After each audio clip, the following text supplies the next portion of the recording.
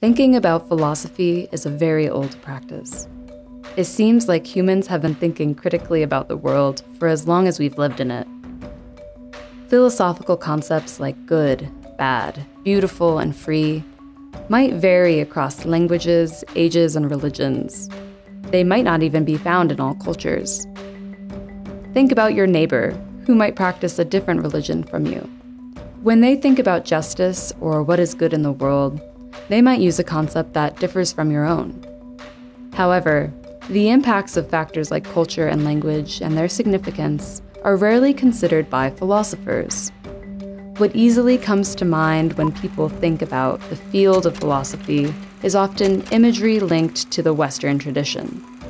By contrast, experimental philosophy's data driven methods are designed to study the diversity of philosophical concepts. Many recent findings support the idea that philosophical concepts vary across groups. There is nuance and variation in how people think about what is fair, beautiful, good, and free. The impacts of culture, time, and language are actually measurable and easier to see than you might think. Imagine the following situation you are standing on a bridge, watching a trolley car speeding down the track. It's going to hit five people unless you do something about it. You can push someone off the bridge to stop the trolley, saving the five people. Would you sacrifice one person to save many? Now, do you think your parents or grandparents would respond similarly? If you pushed the person off the bridge, sacrificing one life to save many, you have utilitarian leanings. To decide what was right in the situation, you looked at the overall consequences. Surprisingly, how you answer questions like this depend on when you are born. Younger people are more likely to choose to save five people by sacrificing one person, showing that Generation X is more utilitarian than baby boomers. Where might you fall on this graph? Do you think you would answer the same as your peers? Now, let's look to another situation. Imagine in your mind something that you find very beautiful. Perhaps you picked something in nature or a piece of art. Suppose you meet a friend and your friend tells you that she does not find this thing beautiful at all. So, which of the following best describes what just happened there? One of you is correct while the other is not. Both of you are correct. Neither is correct. Or it makes no sense to talk about correctness in this situation. What do you think people around you would think about this situation? What about people all over the world? Variation in how people respond to this question suggests important differences in their conception of beauty. Next, let's imagine a familiar setting. Suppose that instead of meeting a friend for a hike, you decided to stay in to watch a movie and go to sleep early. But unbeknownst to you, you could not have gone hiking even if you wanted to. The lock on your apartment door was in fact jammed, and you would not have been able to open the door. Would you say that you acted freely in choosing to stay home? Would other people think that you freely chose to stay home? Was it actually your choice at all?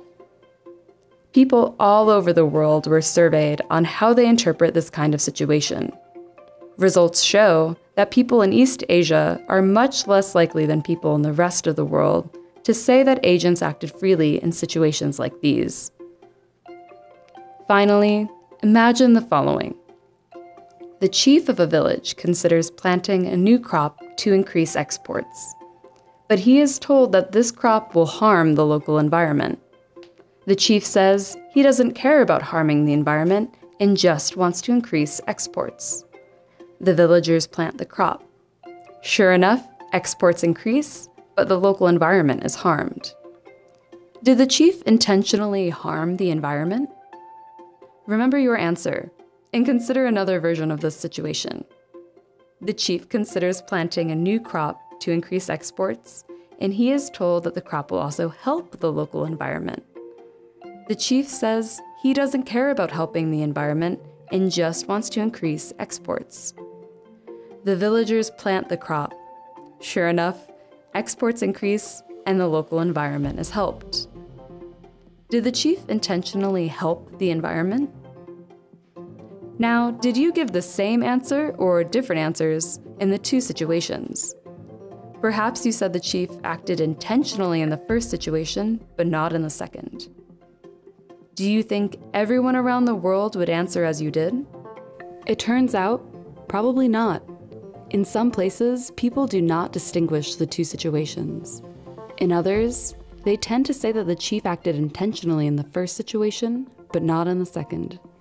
The study shows that people's judgments about the intentional nature of good and bad actions are not universal. The examples presented are only four among dozens, showing that concepts of philosophical interest vary across cultures, ages, generations, genders, and socioeconomic status. Philosophers must be careful not to assume their own concepts are reflective of all human nature. There is still a lot we don't know about similarities and differences in how people think about philosophically important topics. But the Geography of Philosophy project has brought together an international network of researchers devoted to addressing this shortcoming. Follow the project for more updates and to learn about our results.